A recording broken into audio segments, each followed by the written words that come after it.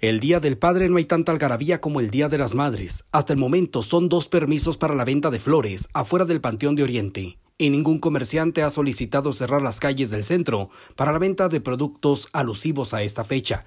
Fue así como lo aseguró Ubaldo Salazar, director de inspectores municipales. Ya próximo, ya este domingo, el festejo del Día del Padre.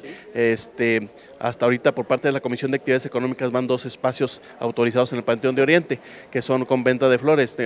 Eh, no es eh, con mucha algarabía como el Día de la Madre. Hasta ahorita te comento, van dos espacios nada más.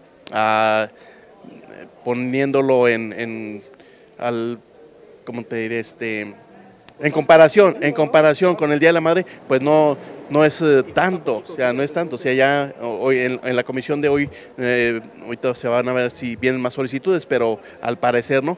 Eh, como te digo, comparando con el festejo del Día de la Madre, pues es muchísimos permisos que entran para esa fecha a comparación a lo del Día del Padre. Vamos a estar trabajando, vamos a estar haciendo un operativo este, de recorrido, nada, para detectar pues, si hay vendedores ambulantes que estén vendiendo algún producto o si el comercio establecido saca su producto a la venta a la calle, pues para estar ahí al pendiente nada más. Será un operativo de rutina y no tan especial como el que se llevó a cabo el 10 de mayo, según lo afirmó el jefe de inspección municipal. Con imágenes y edición de Arad García, le reporta para Notigram TV Víctor Salas.